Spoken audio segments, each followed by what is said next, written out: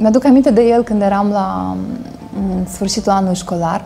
Stătea cu drapelul țării și am văzut că urmează să-și piardă cunoștința și mama mi-a spus tu nu ai simțit că mai puțin și te prăbușești, a spus, am simțit, dar eu trebuia să țin drapelul. Felul ăsta lui de a fi nu s-a schimbat. Cred că vrea să meargă întotdeauna și să susțină valorile lui. Patriotismul este ceea ce face el. El este aici, el s-a retras dintr-un business care oricine ar fi ales în locul lui și a ales să vină aici pentru oameni cu entuziasmul pe care puțin îl au, în care să spună eu vreau să fiu aici pentru poporul meu nu este suficient doar curajul. Bunătatea este o calitate umană importantă. Nu o să uit cum pescuia și de fiecare dată până ajungea acasă împărțea aproape toți peștii prin sat. Totdeauna avea o sensibilitate pentru oamenii în vârstă.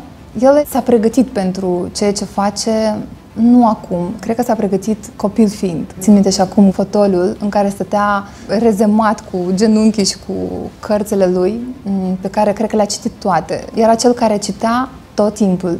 Dacă înșuresc toate faptele pe care le face el, l-aș alege. Pentru că el este un om al faptelor. Când îl aud cum înjură și încerc să nu-l aud și să-mi închid urechile, dar totuși îmi vine prin cap întotdeauna expresia pe care am citit-o undeva cu Faina Ranievska. Aș vrea să o citesc chiar în original, probabil. Лучше быть хорошим человеком, ругающимся матом, чем tihei, văspitânde тварью. Asta mi-aduce aminte de el. Doar pentru Moldova. Vă mulțumesc, seara dragi. Пока!